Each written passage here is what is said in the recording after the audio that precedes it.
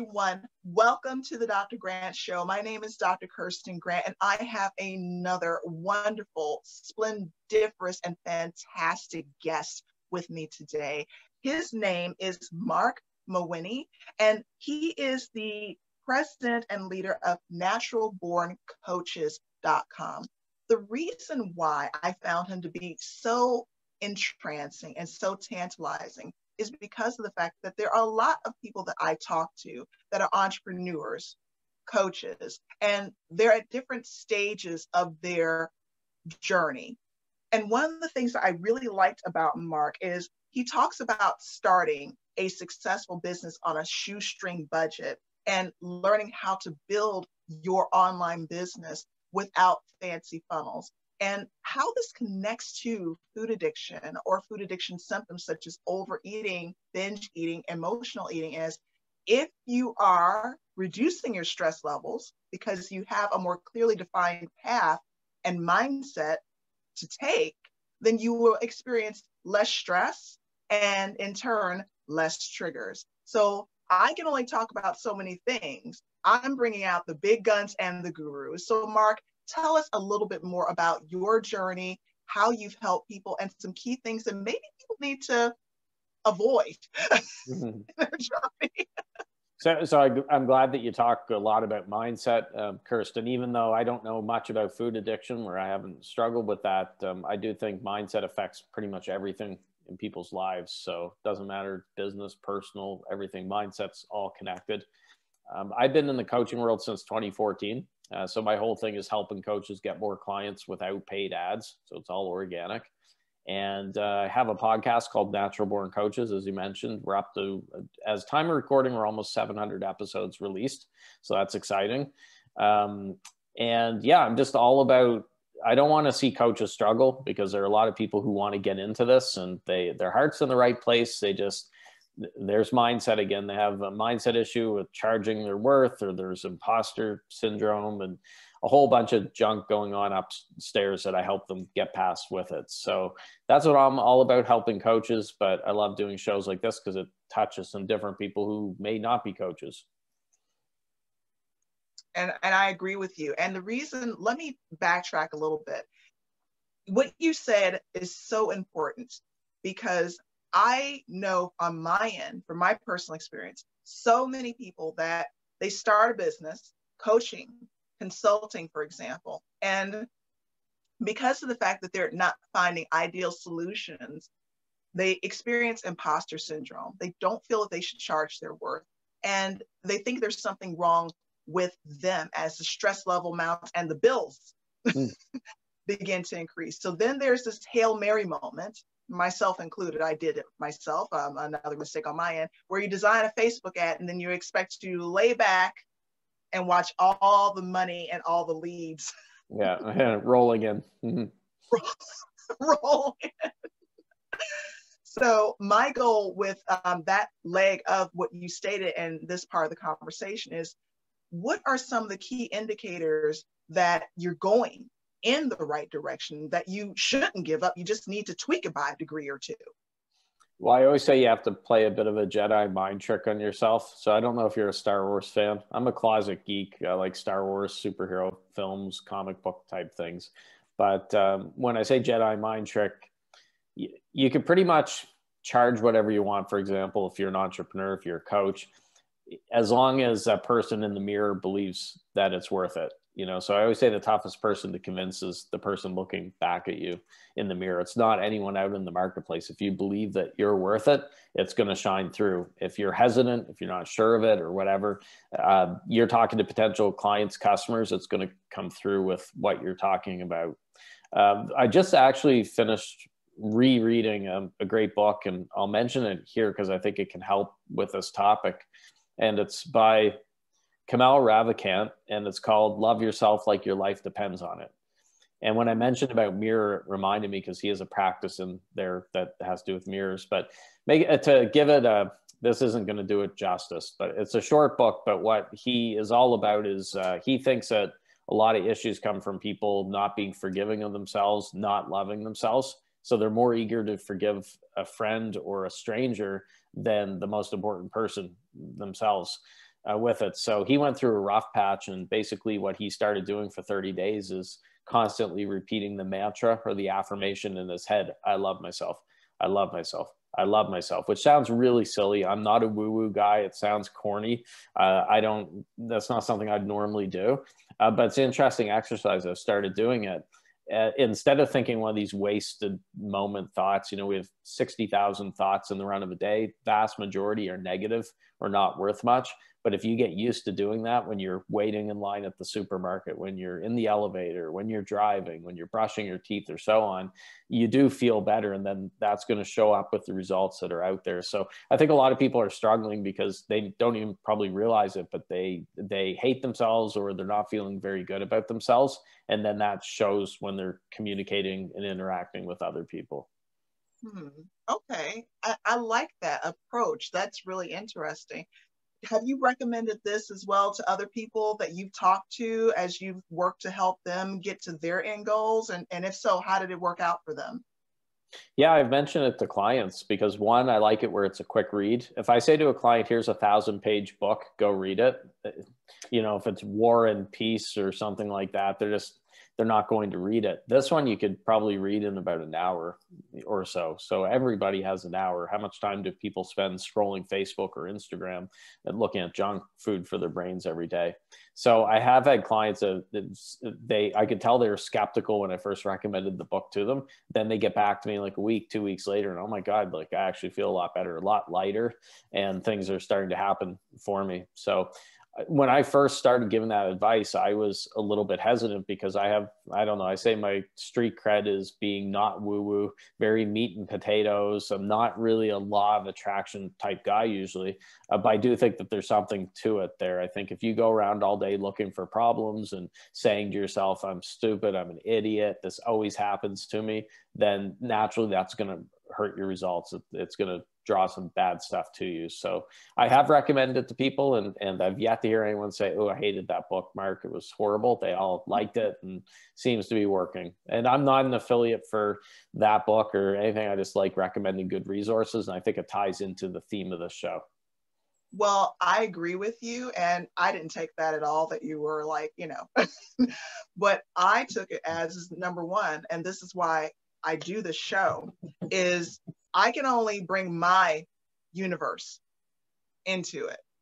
But when I bring your universe into it, what's worked for you and also what you share with other people and it's worked for them as well, that's where we really get into a very fertile, productive, hard hitting conversation, I feel. And I, I absolutely love it. Yeah, no, that's what it's all about. Um, I like to anytime I do something like this, or if I have people on my show, at least give some actionable stuff because I find there's a lot of podcasts so it's a lot of fluff or it's people just talking to hear themselves talk. It's like here's my life story. This is when I was born. This is what I did in grade one. This is grade four. I'm sure you see that as a host. Sometimes I'll ask someone a question and it's a 20 minute answer. I could go make a sandwich. I can take a shower, take a walk around the block. Uh, that's why I like your show. Short, it's concise. It's not two hours of rambling. It's just the facts, ma'am. Give them stuff they need. So, I thank you for that. I um I believe in keeping it short, just because scientific studies have shown that um unfortunately goldfish have us beat human beings now, thanks to social media, and social media has had plenty of pluses and advantages. So I'm not hmm. lambasting social media at all, but thanks to social media, now human beings have an average attention span of eight seconds. Goldfish, on the other hand, have an average attention span of 12 seconds. Yeah, and give it a few years, we'll be even lower. There'll be more of a gap, I'm sure, in five years' time. So I'm a, I agree with you. I like social media. It's been great for my business. That being said, there is a dark side to it. You can easily fall into a rabbit hole, especially with the way 2020 was and 2021 so far is. It's just uh, designed to suck you in. And uh, what I do, I I do. Uh, I limit my time on social media and usually I'm pretty good sticking to it. I pop in, I do what I have to do, then I get the heck out of there before I could get sucked into messages or debates or comments or whatever. Not always I easy. Want, I want to ride that train for a sec if you don't mind. Mm. Now, this is huge. I just read a study, I believe it was conducted by Harvard, and it talked about for 2020, they're still getting the data tabulated in. And I believe it was Harvard, it could be someone else. But the point of the study is, of course, we know this part. Social media consumption increased exponentially in 2020. No surprise there. Yeah. The percentage, though, that did surprise me. The percentages have ranged depending upon what part of the hemisphere you're in. The percentages have been as high as 200% wow. increase to as low as 80% increase. Yeah. Now, and it was already high before 2020. So that that's a widespread. But here's what I did find reading and deep deeper into it it's not what people think. It's usually, um, now, yes, there are parts of social media that are just simply entrancing. And like you said, you're going down that proverbial rabbit hole, which keeps you from getting to what it is that you want to do. And I'm going to tie it into entrepreneurship and coaching and consulting in a minute. But we are, by human nature, psychologically speaking, uh, pain avoidant. um, this is just natural what social media does, it's not that social media sucks you in, which is usually the way it's depicted. It's just that when confronted with, okay, I need to figure out as a new coach how to create a post that's going to be attractive enough to get clients or build my views for my website versus, and this is the unknown, it's intimidating, it's scary, versus, ah, I can go on social media right now look at this really cute article. I can chat with my friends. That is some positive reinforcement. I feel like I'm getting something done. It feels good. And naturally, because we're pain avoidant, we pick the social media. Yeah. It, it keeps you from having to put yourself out there and get rejected to hear no. So, I have a love hate relationship with it though. And I've been reading some books in the last year to wean myself away a little bit from social media. I mean, there's a book that's called 24 6. I forget the author's name, but instead of 24 7, her whole argument is she takes one day a week on a social media fast. So hers, I believe, is Friday night to Saturday night. She, her and her family stay off social media. But there's all these books about breaking up with your phone, and a perfect example how dangerous it can be. I always tell this story a few years back. I went to uh, cook a pizza in the oven and I set the timer for, I forget what it was like 20 minutes or something like that. And I said, oh, well, I'll just go in the living room, open up the laptop on the couch and check a few things, you know, for a minute or two. And a couple minutes later, I hear the dinging of the oven that the pizza's done. I'm like, no way, it's only been like four minutes or five minutes. It hasn't been 20 minutes. Well, I went out and sure enough, it had been 20 minutes. so uh, I say it's like those, um, you know, those, I shouldn't say crazy people, but there's crazy people say they were abducted by aliens and there's missing time. So one minute they're, you know, fishing on some lake and then eight hours later they're nude on, by some country store and they don't remember what happened in the last eight hours it's kind of like missing time. I know it's kind of a silly example, but it, it is like you don't you get sucked in. Or if you're driving on the highway, you see that often where you forget the last five miles or ten miles. You're just on autopilot and just going. Yeah. You're like a mindless drone, and I think social media is the same way. So anyone who hasn't seen it, uh, the movie on Netflix, The Social Dilemma movie is great. It shows how the companies suck you in and try to keep your attention. And they're very adept at that. They're masters. How many times have you heard of people who work for these companies that won't allow their kids to have the devices, or they themselves don't, or then they come out to speak against it? That hey, this isn't what I thought when we were starting it, or sometimes they admit I was wrong, but this is dangerous. Mm-hmm. And uh, I feel really bad for future generations how you're going to be able to keep your attention span. When I was a kid, my nose was buried in a book nonstop. I mean, we had video games and stuff. Was, I was a kid in the 80s. So there was Nintendo and stuff, don't get me wrong. But I read a lot of Hardy Boys and, you know, books like that when I was a youngster, just like loved books. And nowadays with iPads and with everything else, streaming services and stuff, I don't know if I would have that luxury. A book wouldn't seem as appealing to me mm-hmm. now. Yeah. Yeah, and and that's really you bring up something that's really and we can have a whole another conversation on that. Part of it is the with something called a micro flicker that's emitted by your tablet and your phone, which I'm sorry to say a book simply cannot beat. Mm. It's not it's harmful, but to a certain degree, it is hypnotizing to the subconscious mind. And I'm with you. I am a huge avid book reader. When, as a kid back in the 80s, I had my nose deep in a book. So much so my mother would beg me sometimes, just look up. Yeah. look around, you know. But here's a question for you, swinging it back over to your area of expertise. For a person that's looking at trying to make a more engaging post organically, what is the secret sauce from what you've observed working with people? What is the secret sauce to making organic, engaging posts mm. that move the needle to growing your business and still making you feel good about it? Well, there's something that I call the mushy middle, and I say you want to stay away from the mushy middle. And what that is is that's that area where you play it safe. So you put out boring, bland content that would never offend anyone, and then nobody's mad at you. So the problem with that is you're not going to get raving fans. You're also not going to get the flip side, as many detractors. But I always say you need that polarity. You should be putting stuff out there that's got half the people loving you, half the people hating you, but at least that they're engaged they're not indifferent. I see way too many coaches who think that the answer to social media is okay, I'm just going to go and vomit a bunch of motivational quotes every day. I'm going to share Oprah Winfrey quotes, Tony Robbins, Les Brown, and these people. Not saying that there's anything wrong with motivational quotes because I love them and I do occasionally post one on social media, but not all the time. You know, they're, like I said, vomiting them out 10 or 15 a day every hour. And then they're wondering why they don't get business from those. And people can go to Google and they can Google motivational quotes and get 2 trillion results in a fraction of a second. They're not going to hire you just because you're sharing those motivational quotes. So I have something that's called the last 10 test. The last 10 test means you take the social media platform of your choice, the one that you use mostly for your business, look at your last 10 posts on there and see how many of them are things in your own words, your own thoughts, your own beliefs, your own opinions and how many are just shares of other people. So it could be quotes, could be sharing a video Gary Vaynerchuk did or whoever, um, could be uh, anything like that, Tim Ferriss, whatever. And out of those 10, I always say that at least seven or eight should be your own stuff. It's okay if there's a few that are other people's. Unfortunately, most pe- uh, coaches and online entrepreneurs, it's flipped. They have seven, eight, or nine or 10 of those 10 are other people's words and not their own. So don't play in the mushy middle. It can be scary because you don't want to get hate. You don't want to be criticized. You got some stranger in Boise, Idaho, in his mom's basement throwing, you know, key, keyboard warrior uh, throwing stuff at you.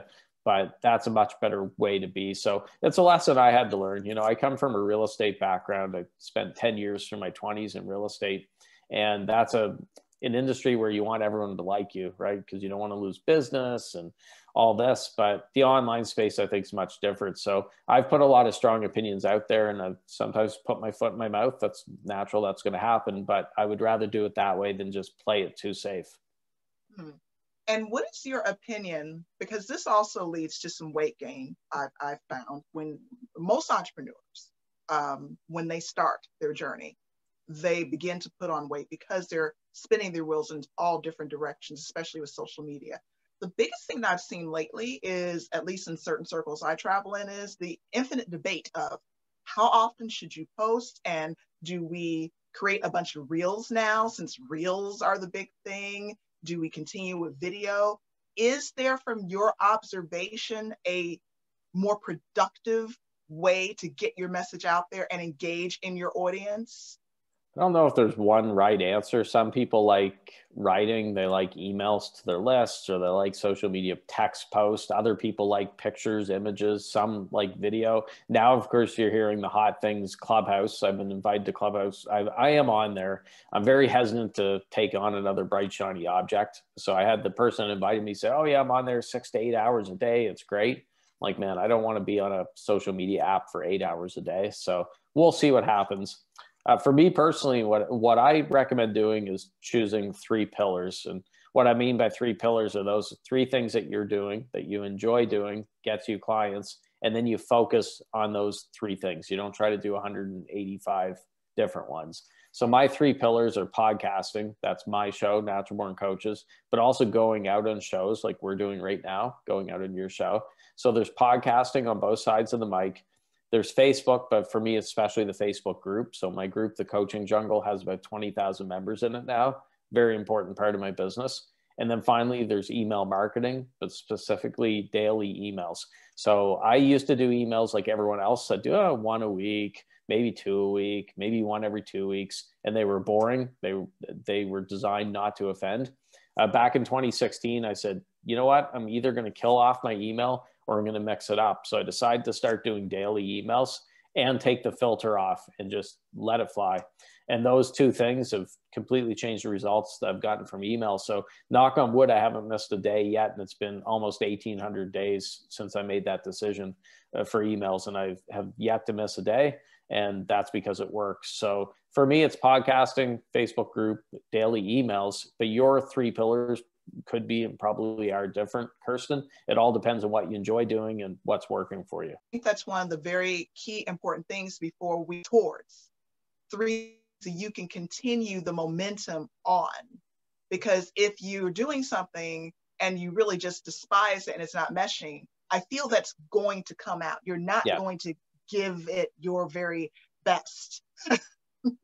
or you're not going to do it. You know, if I hated writing emails, I wouldn't have done 1800 straight days of it. I'd find excuses to do something else. So you have to enjoy doing it if you're going to want to do it consistently. And I agree with you regarding the newest social media crown jewel, shall we say, hmm. that's uh, emerging.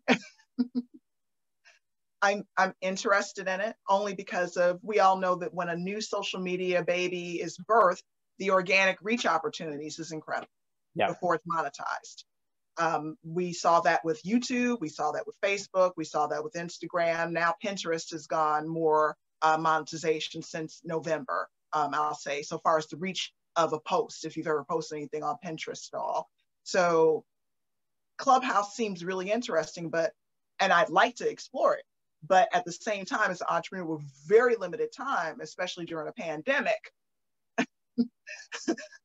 I can't comfortably say that I'm racing towards Clubhouse right now. well, and I, I know I don't see what the, the, uh, the uh, all the accolades are for yet or the praise to be honest. I've spent as we're recording this maybe 20 minutes combined on clubhouse. It was a lot of people sound like they love to hear themselves talk and i'm sure there's some golden nuggets in there it wasn't enough to, for me to say oh my god i'm going to keep this open six or eight hours a day to be doing it so maybe i'm being a little too dismissive but a few months back i heard everyone talking about parler or which is now off the app stores and everything else um, I heard people talking about MeWe, which is supposed to be the next Facebook. I don't know what's going on with that now. I like email because I don't see email going anywhere anytime soon. Plus, you also own that email list. Uh, look at what just happened to Trump. He had what almost 100 million people on his Twitter. Bang, gone. Twitter said, "Okay, we're canceling, uh, suspending the account or dropping it." When you have an email list, you own that list, and uh, it's yours. There's less control than with the social media, the tech giants and that's why I like building an email list. I think it's really important. I think in a perfect world, you should be building other customer lists, physical mailing lists, which I have because I have a print newsletter that I send to subscribers, uh, building phone numbers, building as much as you can that you can control. Mm. And over time, depending upon how much work you put into it, this will also, I strongly believe, bring about the end result of being able to touch people change people's lives, move the needle, and also for entrepreneurs, increase profits. make money. It all comes down to money, which I'm glad you admit that because a lot of entrepreneurs don't. They try to make it sound like they no, oh no, put your wallet away, nothing for sale, and they make it sound like they don't want any of the green stuff. And we know that's not true. Uh, some of the greediest, uh, sh- biggest sharks that I know out there paint themselves like that. They're like Mother Teresa but really they're they're they're like Gordon Gekko on the inside, you know, with it. Uh, so uh, I never believe anyone when I hear them say, "Oh no, no, it's not about money. It's about building relationship, changing world." Well, you should be making money while you're doing all that stuff too, or you're not going to be able to stay in business much longer. I I agree with you, and I'll say this: the niche, whatever niche for anyone that's listening to this, that you're pursuing, you must pursue that niche because it lights you up on the inside and you're hoping to change someone's world. But yep. if you're purely picking that niche purely for the profit potential, you will burn out quickly because you'll find no joy in it. You can achieve a Mercurian amount of success in it, but you're going to eventually drop it because your conscious and your subconscious mind are going to rebel against it because it doesn't truly make you happy. It's what someone else told you is going to make you happy. well, now what we're seeing going back to Clubhouse, it's been what the couple weeks that really people been on there. All of a sudden, there's Clubhouse experts. I'll help you make seven figures on Clubhouse. I'm like, you're just figuring it out yourself. But that that's a perfect example of what's wrong with the online space. What drives me nuts when you get a lot of fake experts or people just rolling out of bed or people looking to take advantage of others as well. So. Oh, no, I, um, I, my rule, my rule of thumb, and I know we're way off tangent from where we started the interview. I, uh, the way the online space is, I've been at now about seven years in here. I, unless I know someone and they prove me wrong, I assume that they're full of it. they're full of shit until they prove me otherwise. And and that served me well so far. Going with your intuition, and um, the the founder of Spanx, she talks about this frequently. Going with your intuition. She has a story, and, and this will be my final closing. But she has a story where she was going to patent and trademark Spanx for the first time. She finally got the deal with, I believe it was Nordstrom's, if I'm yeah. not mistaken. And she was speaking with her manufacturer and she was asking him on a call with her lawyer present because they're trademarking and patenting it, patenting it. Mm-hmm. And she said, Well, what are what is it made out of? And he said, Lycra and um, I believe he said Lycra and span he said something else. Lacquer, sorry. It was lacquer okay. and spandex. mm-hmm. And um, she said, lacquer? Mm. So she got off the phone and she went to bed that night and she couldn't sleep because something sounded off. She said, lacquer? And she called him back. And because of his accent and drawl, he w- was saying lycra. Uh, but not not liquor. Okay. Yeah, but, but, but not lacquer. And okay. they fortunately caught it before it went you know, and was submitted to the Patent and Trademark Office. And this is a huge testament to following your intuition. And I had to share that story because it just seemed to be so apropos. But uh, when we can talk about things forever, because I really, really enjoyed talking to you. And I think you've given people some really good nuggets, hopefully, uh, between both of us, giving some people some good nuggets to help shape their journey and the next set of steps they need to take in their entrepreneurial journey where can people find you if they want to talk to you and have a deeper conversation with you? Sure. So there's naturalborncoaches.com. That's a podcast website. It's got almost 700 episodes on there for coaches. Almost every t- uh, imaginable topic has been covered. So there's naturalborncoaches.com. Uh, the other place is the Coaching Jungle Facebook group, which I believe you're in.